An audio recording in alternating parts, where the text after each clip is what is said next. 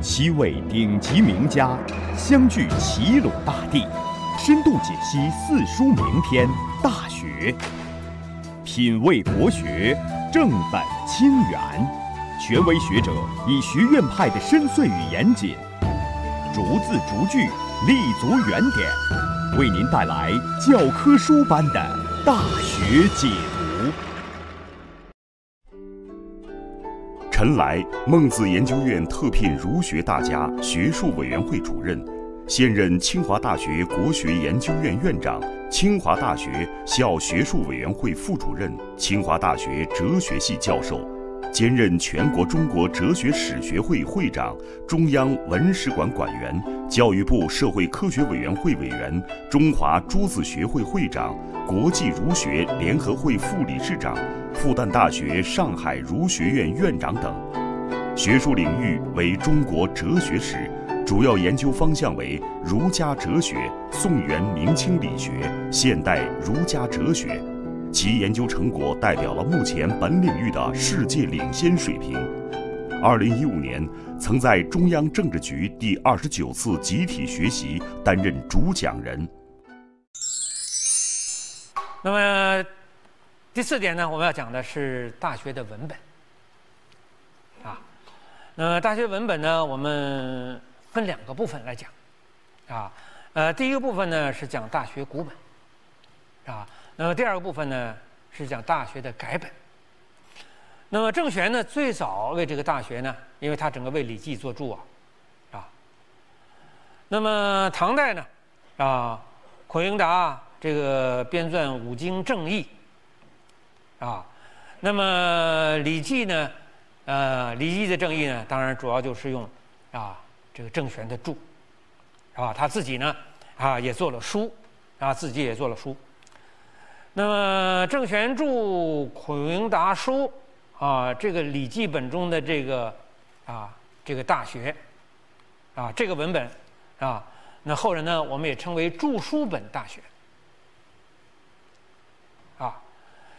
这个到了明代啊，啊就把这个注书本大学称为古本大学，啊大学古本，因为它它是啊汉代初传下来的时候啊就是这样子，当然是古本，啊，呃，应该说哈这个唐以后啊，宋是吧元时代的人对这个注书本呢不太重视。啊，不太重视。从北宋啊以后啊，经过二程和朱熹啊这个改本的影响，大家都不用这个古本。啊，呃，更多的都采用改本。那么接下来呢，我们来讲这个啊大学文本的这个第二种形态，下就是大学改本。啊，大学改本。那么接下来就到了这个诸子的改本了，啊，那么诸子的改本呢，这个他吸收了啊，这个北宋二程先生对大学文本的啊这个调整。那诸子的这个改本呢，啊，不仅如此，不仅是区别经传是吧，分别这个纲领条目是吧，这个那么诸子呢还做了一件特别突出的事，啊，就是啊。他不认为这个明道先生这说讲的啊，说那个格致的条目啊，在那个大学原来那古本里面有，就是那个自天子以至于庶人，此为之本，此为知之至也。说这是格致的那个解释，朱子不认同，他认为就是缺了，是吧？那这样一缺了呢，我们看这个朱子呢，从文献学上来讲，他跟二程的理解呢有一个不同，就是二二程认为只有错解。没有缺文，啊，但是朱子认为呢，既有错简，又有缺文，啊，错简就是要把那个解释三纲领的啊那部分文字，康告约那些挪到前边啊挪啊独立出来，缺文缺了什么呢？就是缺了那个格物致知的那个解释，是吧？你像前面都有是吧？所谓成其义者，所谓修身，所谓齐其家。他说就应该有所谓致知或者所谓格物。那怎么办呢？是吧？朱熹呢，就是为了啊，他并不是要冒充古本，古本，他就是从这个啊传播这个大学的这个义理，从道学的角度出发，是吧？他就自己做了一个补格物致知传，是吧？所谓致知在格物者，是吧？就把这这两个意思，他他他做了一个补传。那补传呢是应该解释什么是格物致知，是吧？那你那个大学这个文本已经没有了，那你靠什么来补呢？你又不用他自己里边的东西，啊？朱熹也说明了，说我主要是呃依据二程先生对格物致知的解释，啊，我做一段做一段补传，是为了便于大家学习，不是冒充古本，是便于大家学习他的义理，啊，因为他认为大学里边最重要的就是格物。啊，所以他必须要做一个什么是格物，格物的重要性，是吧？就做了这个补格物致知传，啊，这也是他后来受到人攻击最大的一个地方。所以说你怎么能补呢？是吧？没有就没有了，是吧？啊，这不能补，是吧？所以很多人提他不应该做这个补传，但是呢，朱熹自己也讲了，是吧？他也不是为了冒充古本，是因为这个地方最重要的环节缺失了，啊。所以他要依据二程的思想，啊，要在义理上要补足对格物的说明，啊，也是不得已的，啊，那么这个呢，可以说是啊，朱熹啊，啊，他的改本里最大的一个，哼如果说亮点的吧，啊，那这点。那么当然，这个最后一点呢，就是啊，朱熹呢，把这个他所做的这个改本的这个大学呢。啊编入四书，啊，这个这个《大学章句》是吧？《中庸章句》啊，和《论语集注》《孟子集注》合编为四书集注，啊，四书章句集注。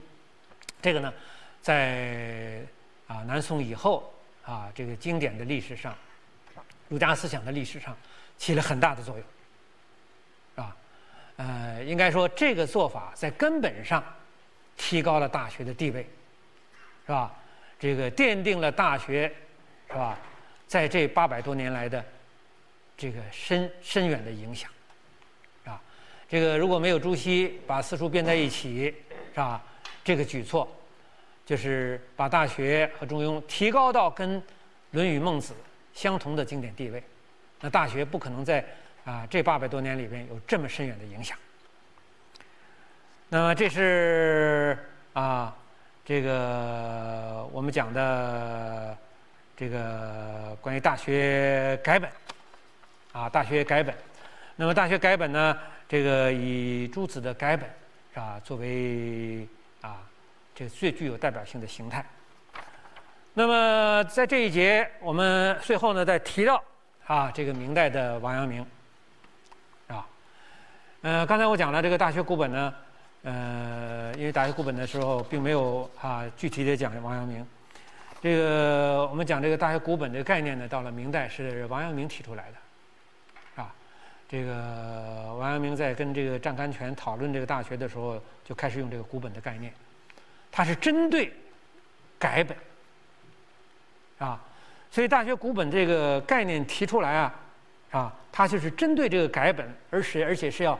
要压这个改本一头，说我这个是真正的古本，啊，你们那个都是后改的，所以呢，这个呃，他做的这个呃这个书啊，叫做《大学古本旁释》，啊，这也也也有叫做《大学古本旁注》，啊，突出大学古本这个概念，这个是一个啊完全反对程朱理学大学论的啊这样一个文献概念啊。那么王阳明呢？他是针对朱熹啊，啊，他就认为啊，这个大学啊，啊，本来啊，他说无错简之可证，本来就没有错简，没有错，没有错简，你你怎么还纠正它，还要改正大学啊？无缺文之可补，朱子不是补啊？格物致知传，他没有缺文，你补什么呢？是吧？所以他说是吧？无错简之可证，无缺文之可补。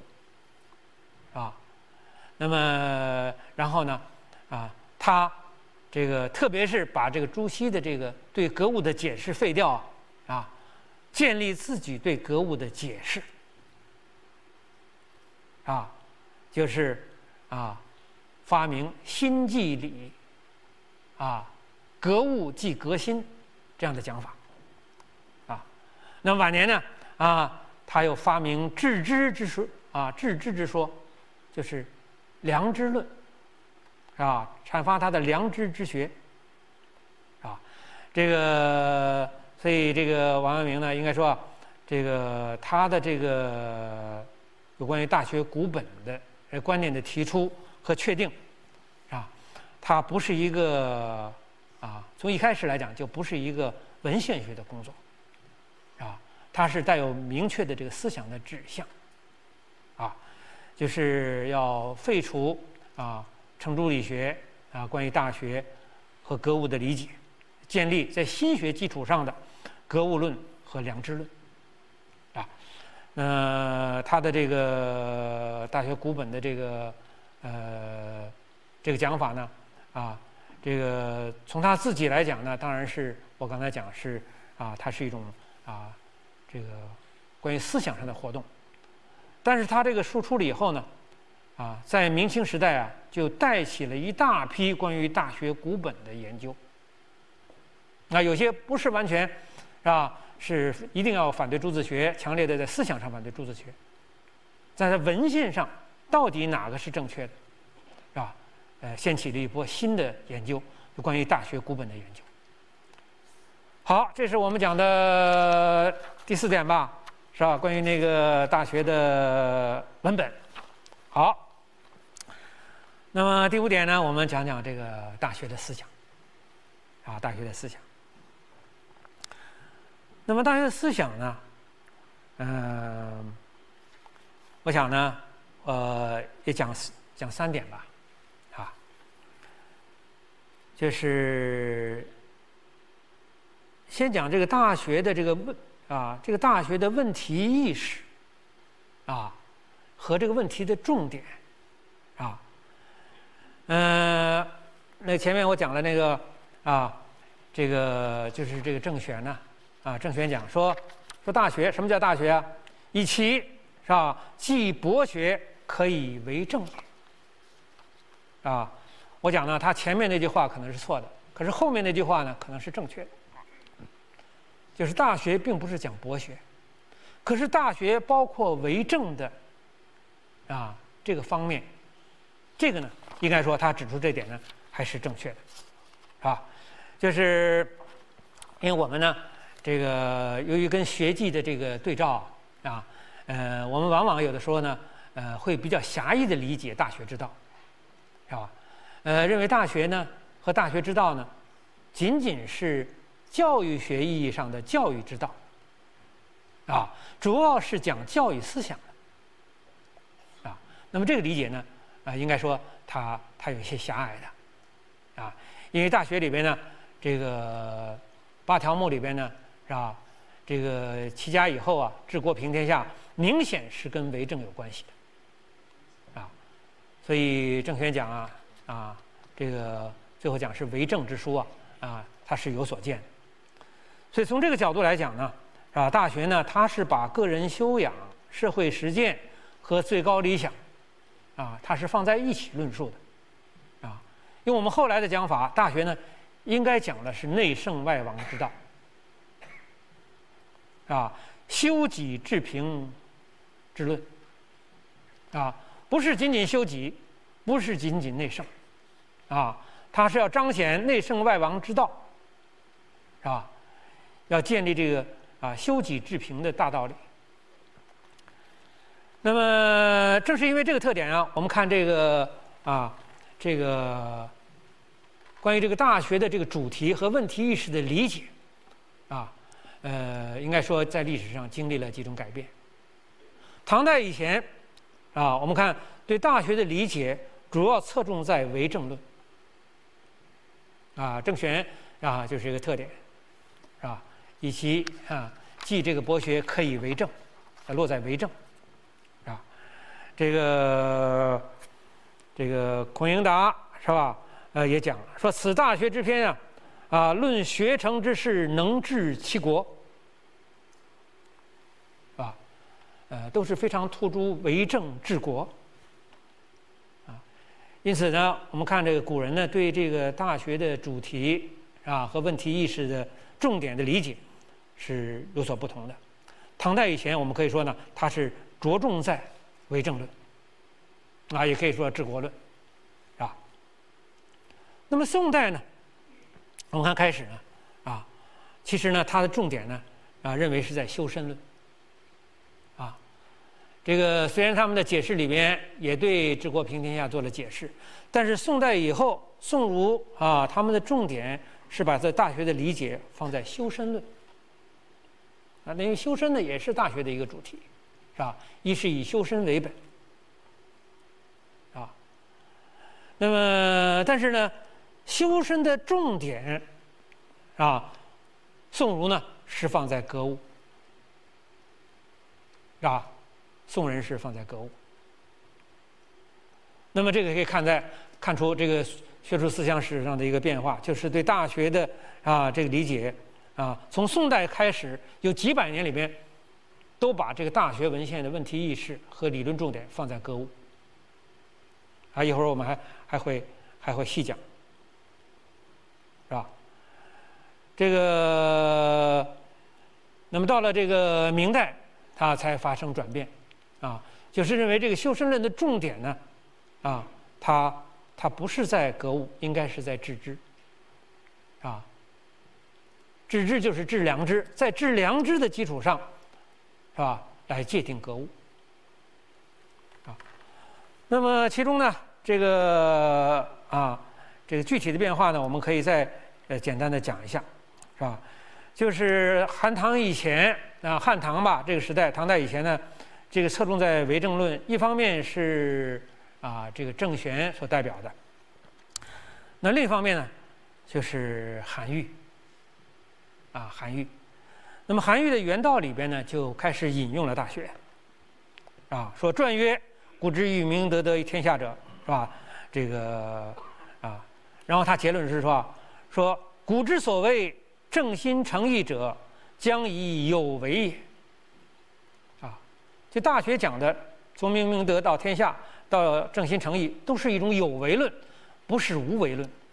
批评佛老啊，是无为的。啊，说这个说今呢，啊，说今天啊啊，欲治其心而外天下国家，离开天下国家。去正心，灭其天常，啊，就违反了天然的伦理，是吧？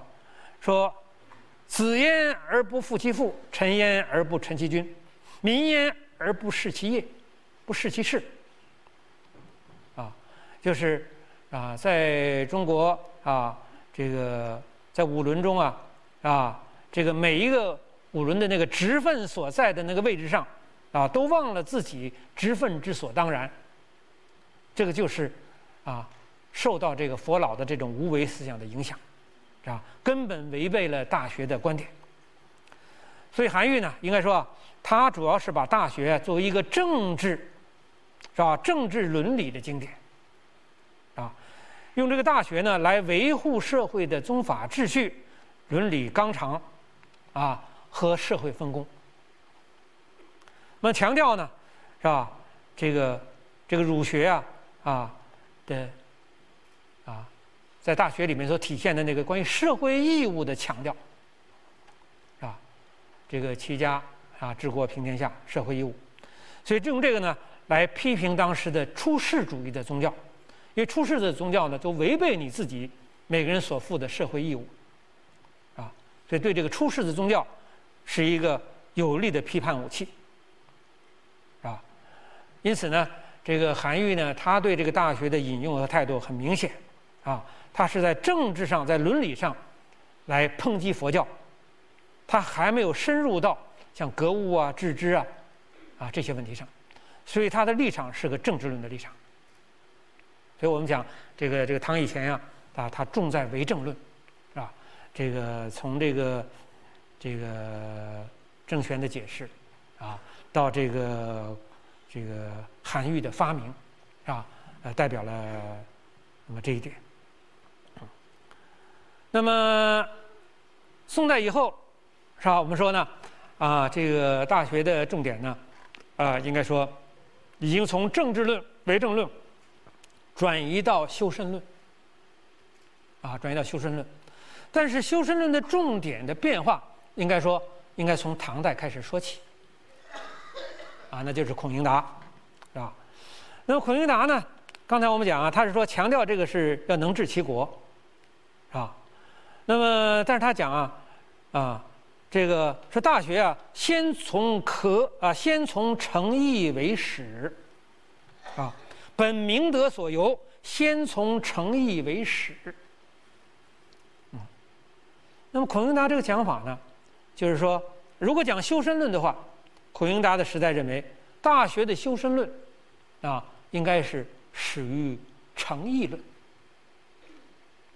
诚意论既是开始，也是重点。这是啊，我们看到这个修身论的重点，在唐代是这样理解的，是吧？呃，应该说呢，这个在某种意义上也是合乎那个大学古本的啊那个论述次序的，因为大学的古本呢，因为他把那个那个诚意那个对诚意的解释那个放在特别前面，啊，放在特别前面。那么这是啊，我们看这个关于这个大学的这个思想重点啊啊，修身论的重点呀啊，早期是在诚意。那么接下来到北宋啊，到南宋就开始变成格物论了啊，呃，不是把诚意论作为大学之始啊，大学的重点，而是把格物作为啊大学的啊基点和开始入手的地方。这就是二程和朱熹。那么这个理解有没有错呢？也有它的道理，因为这个八条目的这个逻辑关系啊，最后它是归结在，是吧？格物致知上面，啊，他从这个啊欲明明德于天下，是吧？一直推推，最后推到是致知在格物，啊，所以这个二程和朱熹啊重视格物呢，啊，在。这个文献上也是有它的理由，在整个这个体系的把握上，也是有它的理由的。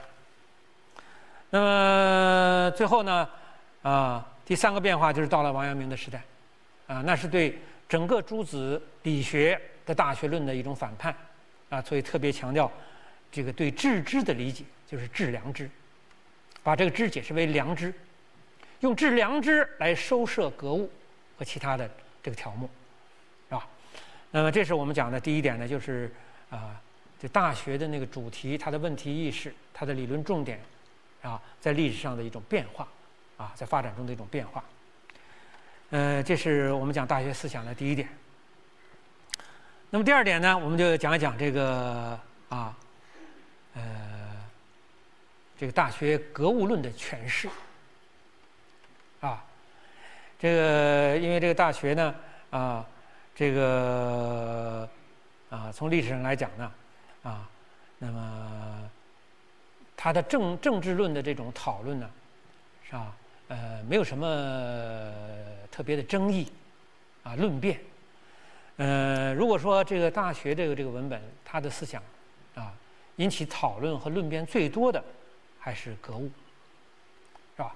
所以我们呢，来简单讲一下这个关于这个格物论它的诠释。在在这个历史上的演变。那么首先呢，我们就看这个郑玄，是吧？郑玄啊，那么郑玄呢注释格物说：“格，来也。啊，物，由是也。啊，其至于善身，则来善物；至于恶身，则来恶物。言元人所好来也。”那么这个讲法呢，来来有这个招引的意思，是吧？招引的意思，说你是吧？你对那个善的了解深，你就那个能招引来那个善的东西；你对那个恶恶你那个了解的深，是吧？你那个就就招来的是那个恶的东西，是吧？所以他说：“言原人所好来也。”原是那个缘由的缘，啊，都依据于你自己的所好，是吧？那外物就来了。所以这个讲法呢，我们说呢，啊，呃，他所理解的格物呢，是一种感通论的讲法，是吧？道德感通论，是吧？这个你至于善身，则来善物，是吧？缘人所好来也。那么这是这个郑玄，是吧？他早期的这个注释。那么这个注释呢，啊，这个在后面呢。啊，这个啊，当然也影响到这个这个这个孔颖达，影响到孔颖达啊，呃，但是从唐代来讲呢，啊，呃，比较有代表性的啊，还不是啊，孔颖达接受了这个郑玄的这个这个这个解释啊，而是韩愈的弟子啊，这李敖所代表的一种对格物致知的理解。啊那李敖呢？他写一篇文章啊，他就说：“说什么是致知在格物呢？致知在格物什么意思呢？”然后他的回答说：“物者万物也，物就是万物，是吧？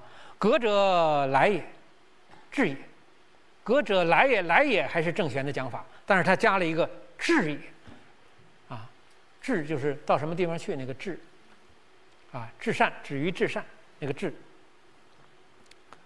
然后他解释，说物至之时啊，啊，就物来的物来到这时的时候，物至之时啊，其心昭昭然，昭昭然是很明白的，是吧？明辨焉而不着于物者，是致之也，是吧？那什么是格物啊？就是物来了，物来了以后，你的心哎非常明白，昭昭然，这是格物。什么是致知？你的心心能够明辨明辨于物，可是不着于物，不执着于物，这个叫致知，是吧？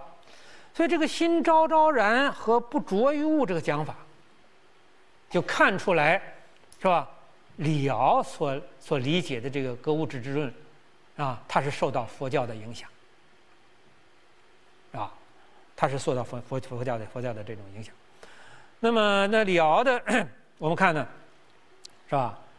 这个啊，这个讲法呢，他讲的是心物论，啊，讲的是心物论，啊。